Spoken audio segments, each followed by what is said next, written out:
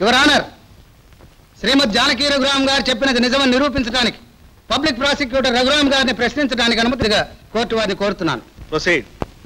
Mister Raghuram? Yes please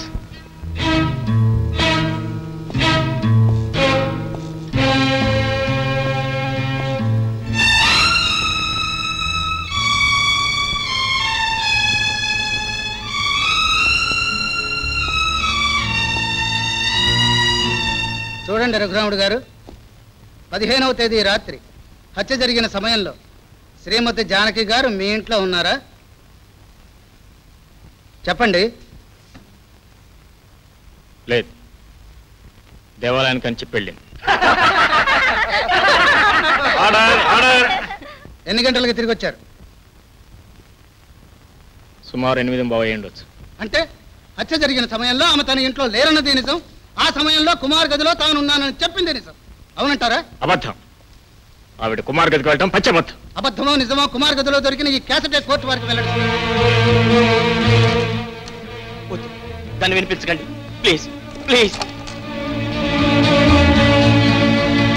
My dear Janaki నువ్వు నన్ను ప్రేమిస్తున్నావు అన్న సంగతి తెలుసుకొని సంతోషంతో సముద్రంలా పొంగిపోయాను. సాయంత్రం బీచ్కి వెళదాం. ఆ తర్వాత పిక్చర్కి. అక్కడి నుంచి హోటల్కి ఆ తర్వాత రూముకి చేరుకుందాం. రూములో జానకి జానకి జానకి. Stop it! ఏమండి? ఏమండి? ఏమండి? పబ్లిక్ ప్రాసిక్యూటర్ పరుగు పోయిందిరా పాపం. ఇక ఆ పెళ్ళంతో కాపురం చేశాడంటే అంతకంటే సిగ్గుచేటు మరొకటి లేదు. జానకి ఉద్యోగంలో ఉన్న నాళ్ళు కుమార్తె తిరిగింది. కోటీశ్వరుడు కదా అని రఘురాముని వల్ల వేసుకుని పెళ్ళి చేసుకుంది. పాత ప్రియుని మర్చిపోలేక గుడికి వెళ్తానని అబద్ధం ఆడి కుమారు గదికి వెళ్ళింది. ఇంతకీ ఆమెకు పుట్టే బిడ్డలకి అసలు తండ్రి రఘురాముడు అంటావా కుమార్ అంటావా? ఏమండి? ఏమండి?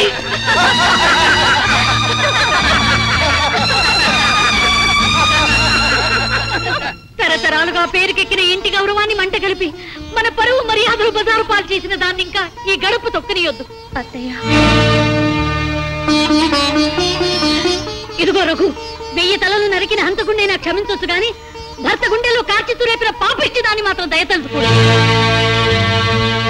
ఏమండి? అగో లోపలికి రావటానికి ఇప్పుడు ఇది నీ ఇల్లు కాదు. పెళ్ళైన ఆడదానికి భర్త ఇల్లే తన ఇల్లు. అని అనటానికి ప్రతి భార్యకు హక్కు ఉంది కానీ నీతి తప్పిన నీకు మాత్రం లేదు. ఏమండి? అనుమానించి నా జీవితం నాశనం చేయకండి. నాశనం చేయకండి. ఆనాడు ఆ గంటలో అతని గదిలో అతనితో ఏకాంతంగా ఉన్నానని నీ నోటితో నువ్వేగా కోర్టులో చెప్పావు? నిన్ను అనుమానించక ఇంకా ఆహ్వానించమంటావా? ఏమండి? కుమారికి నాకు ఉన్న స్నేహం. నిష్కల్మషమైందంటావు. సిగ్గు శరం లేనిదానివి బరి తెగించిందానివి నువ్వేమైనంటావు? ఏమైనా చేస్తావు? నిన్ను మనసారా ప్రేమించి నన్నే వంచిన కొలట. బాబు చూడండి. ఒంటరిగా పరా ఇంటికి వెళ్ళినంత మాత్రాన ఆడదాని శీలాన్ని అనుమానించటం న్యాయం అవుతుందా తాను అన్నగా భావించే వ్యక్తి జబ్బుతో ఉంటే సేవ చేయటం పాపం అవుతుందా నేను నమ్ముకున్న మనిషి వివేకానికి విలువనివ్వకుండా గుడ్డి లోకం కూసే కారు కూతల్ని నమ్మటం ధర్మం అవుతుందా నిరపరాధి నిర్దోషత్వాన్ని నిరూపించడానికి కోర్టుకెళ్ళి నిజాన్ని బయట పెట్టడం నేరం అవుతుందా అండి? ఏమండి మీ అపోహలు తొలగిపోవటానికి ఎన్ని ప్రమాణాలైనా చేస్తానండి. అవినీతి పరులు ఎన్ని ప్రమాణాలైనా చేయగలరని పచ్చబద్ధాలతో ఈ ప్రపంచాన్నే వంచగలరని లాయర్గా నేను నేర్చుకున్న మొదటి పాఠం. అత్తయ్యా! అగో అగో! నీ మూలంగా నా పరువు నా ప్రతిష్ట అన్నీ అన్నీ పోగొట్టుకున్నాను ఇక నా జీవితంలో మిగిలిందల్లా నా తల్లి ఒకటి. ఇప్పుడు నీ గాలి సోకిందంటే ఆమె కూడా నాకు దక్కదు. అది మాత్రం నేను భరించలేను. వెళ్ళు వెళ్ళు ఇక్కడి నుంచి. వెళ్ళు. అమ్మా! రఘురామ్ గారు మిస్టర్ రఘు. నేను జానకిని ప్రేమించిన మాట వాస్తవమే. వాస్తవాలు నాకు ఈ లోకానికి తెలిసిన తర్వాత కూడా నువ్వు ఎందుకు వచ్చావు? ఎందుకు వచ్చావు ఇక్కడికి? నిజాన్ని చెప్పడానికి. ఒక ఆడదాని సాక్ష్యంతో శిక్ష తప్పించుకున్న నువ్వు చెప్పేవన్నీ నిజమని నమ్మే అంత తెలివి తక్కువ వాడినేం కాదు. ఆవేశపడకండి. ఆడవాళ్ళని అర్థం చేసుకోవడం కష్టం గాని అనుమానించడం చాలా తేలిక. నేను జానకిని ప్రేమించానని నా టేప్ రికార్డు మీకు సాక్ష్యం ఇచ్చింది. ఒప్పుకుంటున్నాను. నేను ప్రేమించినా ఆరాధించినా అది నా తప్పు అవుతుంది కానీ ఆమె తప్పు కాదండి. మిస్టర్ కుమార్ మరొక్క క్షణంలో ఇంకా ఇక్కడే ఉన్నావంటే వెళతా ఇంత దారుణం జరగడానికి కారణమైన నేను నా ఉద్యోగానికి రాజీనామా ఇచ్చి ఎటో వెళ్ళిపోతాను. కానీ రఘు ఆ రోజు జ్వరంలో ఉన్న నన్ను అన్నగా భావించి ఆమె నాకు సేవ చేసింది. ఇది సత్యం. ఆమె శీలాన్ని శంకించకండి. Please. Raghu. I say you shut up and get out first get ఏ ఇంకా నిలబడ్డారు? వాడికి జరిగిన మర్యాదే మీకు జరగాల?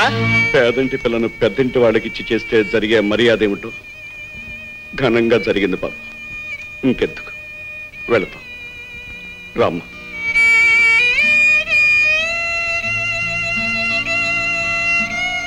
చూడు బాబు మేము పేదలం కావచ్చు.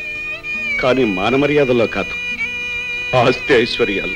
ఆస్తి ఐశ్వర్యం కోసమేగా మీ అమ్మాయి ఒకరిని ప్రేమించి మరొకరిని పెళ్ళి చేసుకుంది. ముమ్మాటికి కాదు.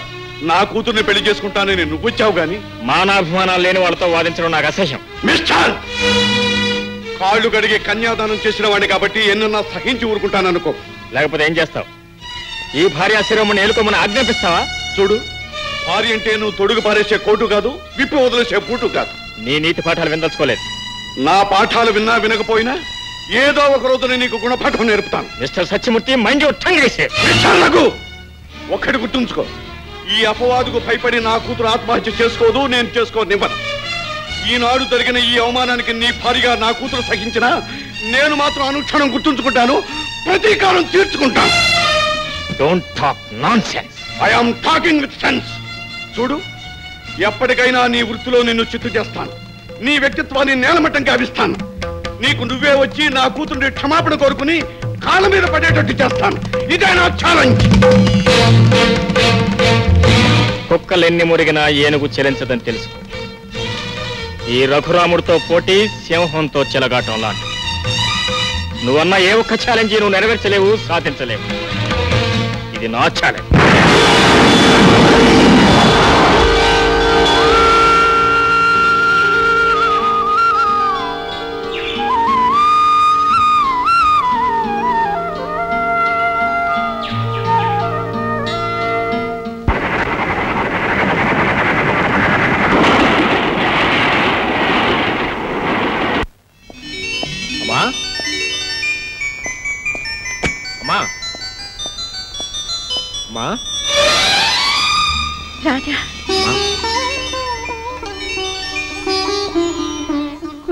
ఉన్నావా బాబు? నీ ఆశీర్వాద బలంతో కులాసగా ఉన్నాను అవును తాతయ్యడమ్మా.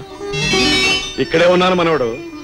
అవునరా పరీక్షలు అయిపోయిన వాడివి వెంటనే ఇంటికి రాక ఇన్ని రోజులు ఆ ఊళ్ళోనే ఉండిపోయావిట్రా పట్టుదల తాతయ్య పట్టుదల.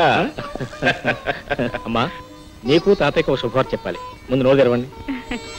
ఏమిట్రా? ఆ, అంత తేలిక చెప్తానంటే ముందు తీపి తినాలి ఆ తర్వాతే మంచి మాట వినాలి.